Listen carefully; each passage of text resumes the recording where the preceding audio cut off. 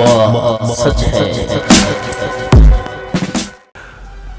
रूस और भारत के सहयोग से निर्मित दुनिया की सबसे तेज सुपरसोनिक क्रूज मिसाइल ब्रह्मोस को खरीदने की चाहत रखने वाले देशों की एक तरह से लाइन लग गई है।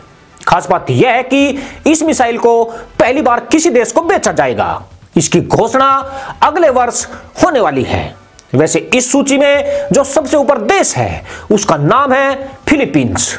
कहा जा रहा है कि भारत और रूस ब्रह्मोस को फिलीपींस को बेचने पर सहमत हो गए हैं। इसके अलावा थाईलैंड, इंडोनेशिया समेत एक दर्जन से अधिक देश ब्रह्मोस खरीदने के लिए बेसबर हुए जाते हैं। बड़ी बात यह है कि ब्रह्मोस खरीदने वाले अधिकतर दक्षिण एशियाई देश हैं। भारत द्वारा फिलीपींस को ब्रह्मोस बेचे जाने की चर्चा से चीन बौखला गया है। चीन को अभी से लगने लगा है कि भारत जानबूझकर फिलीपींस के माध्यम से उसे घेरने का प्रयास कर रहा है। इसकी वजह यह है कि चीन और फिलीपींस के बीच समुद्री सीमा को लेकर अभी तक विवाद चल रहा है। इसी वर्ष की शुरुआत में भी दोनों देशों की सेनाएँ आमने सामने आ खड़ी हुई थी। ब्रह्मोस मिसाइल सिस्टम को लेकर फिलीपींस भारत से लगातार संपर्क बनाए हुए है। उसने चीन से खतरे को देखते हुए इसे फिलीपींस की सुरक्षा के लिए अचूक हथियार बताया है। नई दिल्ली में रूस के दूतावास के उप प्रमुख रोमन बाहुसिकिन ने भी साफ़ कर दिया है कि दोनों देश ब्रह्मोस मिसाइलों के किसी खरीदार देश का चयन कर वैश्विक स्तर पर एक बड़ा संदेश देने की कोशिश करेंगे। इसका सीधा मतलब यह है कि भारत द्वारा चीन की घेराबंदी करने में रूस परोक्ष रूप से भारत के साथ खड़ा है। जबकि चीन इस बात से आशंकित है कि ब्रह्मोस जैसा अचूक हथियार फिलीपींस को मिल जाने से उसकी सेना की ताकत में अभूतपूर्व वृद्धि हो जाएगी, जो चीन के लिए एक बड़ा सिरदर्द बन सकता है। पर मामला केवल यहाँ तक नहीं है। साल 2020 भारत और रूस के रणनीतिक रिश्तों के लिए बहुत ही महत्वपूर्ण होने वाला है। चीन बहुत कोशिशों के बावजूद भी रूस को भारत से दूर नहीं कर पाया है। बल्कि दोनों देशों के रिश्ते हर नई सुबह के साथ मज़बूत होते जा रहे हैं। भारत व रूस ब्रह्मोस को किसी तीसरे देश को बेचकर हथियारों के अंतरराष्ट्रीय बाज़ार में धमक के साथ उतरने जा रहे हैं। केवल इतना ही नहीं, अब भारत और रूस बांग्लादेश में आणविक ऊर्जा संयंत्र भी लगाने वाले हैं।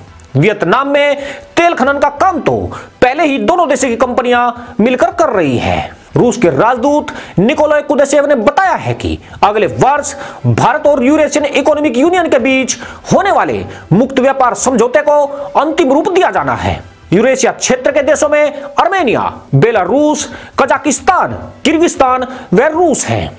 भारत की योजना आगे चलकर अफ़गानिस्तान और ईरान जैसे मित्र देशों को भी इसमें शामिल करने की है। इस मुक्त व्यापार व्यवस्था के अंतर्गत यह सभी देश द्विपक्षीय कारोबार अपनी अपनी मुद्राओं में कर सकेंगे। फ़िलहाल अभी भारत और रूस के बीच 30 फ़ीसदी लेन देन स्थानीय मुद्रा यानी रुपए और रूबल में होता है, जबकि ईरान के साथ भी यह प्रक्रिया शुरू हो चुकी है।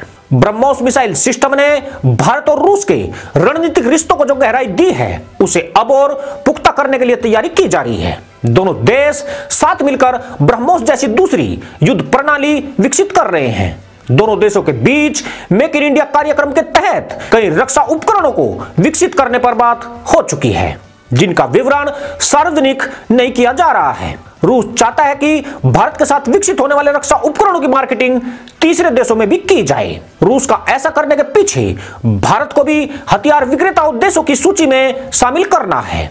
रूस को लगता है कि जिस तरह अमेरिका, फ्रांस इसराइल की हथियार निर्माता कंपनियाँ मेक इन इंडिया के तहत भारत में बड़े पैमाने पर रक्षा उपकरणों का निर्माण कर रही है, वहाँ रूस भी किसी से पीछे नहीं रहे।